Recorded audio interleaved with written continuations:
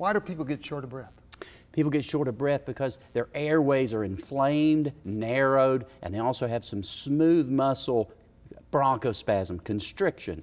And it's just hard to breathe through a narrow tube. I always tell patients you can breathe through a garden hose, but think about trying to breathe through a straw. You get short of breath. Yeah, real short of breath with that. Is it frightening to a patient when they've got really significant asthma? Very frightening. Having taken care of a lot of different type patients in the intensive care type environment and clinic environment, some patients that I see suffer, true suffering, are people who are short of breath and can't catch their next breath.